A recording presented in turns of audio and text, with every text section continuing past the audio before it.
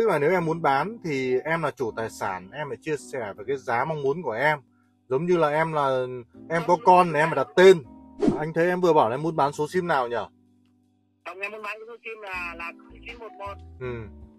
132 Rồi. 529. rồi. Em muốn bán bao nhiêu hả em Bây giờ nhờ cái nhỏ anh là định giá nhưng mà giờ cái sim chưa phải bao tiền. ừ. em muốn bán anh chia sẻ với em này.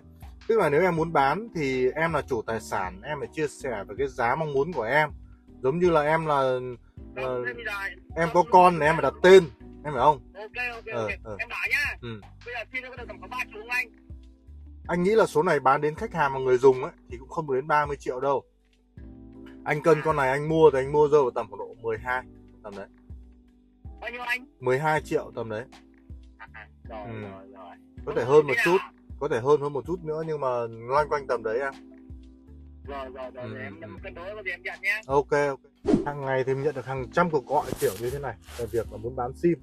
Thế nhưng mình chia sẻ với anh em này ai có con thì người đó đặt tên. Và đặt tên là của mình chứ không chẳng nhẽ anh em mà để cho ông hàng xóm đặt tên con mình hay sao đúng không? Thế nên người bán thì báo giá người mua thì cân đối. Đây là cung cầu thị trường hài hòa hợp lý đôi bên cùng có lợi. Cảm thấy hợp lý thì giao dịch không hợp lý thì thôi đúng không? Thế nhưng mình chia sẻ này mình sẵn sàng cho anh em thoải mái. Anh em cảm thấy hợp lý thì bán cho mình không hợp lý thì anh em đi dò hỏi thêm. Vài chục người đó, hàng trăm người nữa cho biết xem là ở giá trị sim của mình là bao tiền. Ai cao thì bán cho người đó đúng không? Đấy là chuyện bình thường trong xã hội. Tuy nhiên thì mình chia sẻ là nhiều khi ấy khi mà anh em đã đi chào lung tung loạn hết lên rồi ấy rất nhiều người biết về số sim của anh em rồi và đang muốn bán giá bao nhiêu rồi ấy thì có khi mình lại không muốn mua nữa. Mình nghĩ là nhiều người giống như mình anh em thợ sim khác cũng vậy khi mà số sim nó bị trào đi lung tung đến quá nhiều người biết thì nó không còn là điều bất ngờ và không còn là cái gì đó khác biệt ở thị trường. Và mọi người mà anh em thợ sim mà mà bị lộ giá là không muốn rồi thật sự như thế.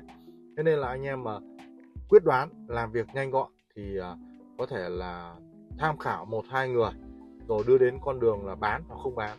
Còn nếu mà anh em đi dò hỏi đến hàng chục người hàng trăm người thì chắc chắn là anh em sẽ rất là khó bán. Và nhiều khi ấy, là còn bị gọi là là là, là ảnh hưởng về mặt nào một thời gian rất lâu sau thì mọi người mới có thể là mua số sim của anh em. Nên anh em lưu ý trường hợp này anh em nhé.